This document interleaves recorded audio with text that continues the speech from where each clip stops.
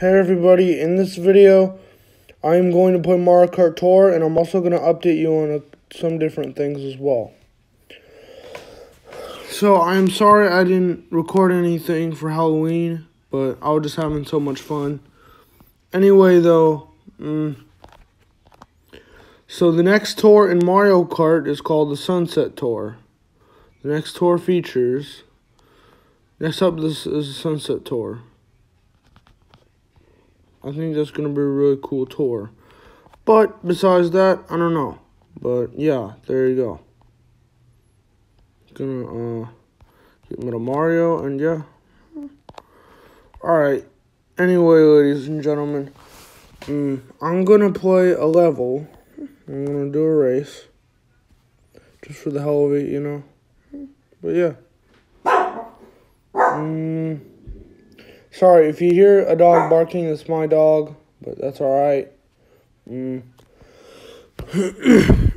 I've been I've been thinking about animating my Lego cars and my Lego my Lego truck and my Lego cars like as a stop motion.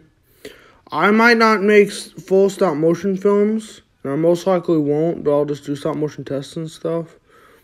You know, just really short videos, talking about seconds long, but yeah because stop motion is just too difficult for me and it's just it takes a lot of patience. And besides and if you're gonna make a good film you gotta take hundreds and if you want to make it really long you gotta take thousands of pictures you know? Yeah. But anyway though mm, uh, not too long ago earlier today i printed out some decals to put on my Lego truck. I'll reveal those in my next video. And I thought about putting the Nintendo logo on the Lego truck because there's like two different pictures of Rosalina on there. She's like my favorite Nintendo girl, so there you go. Uh, but yeah, there you go. And besides that, mm, Eh, it's alright.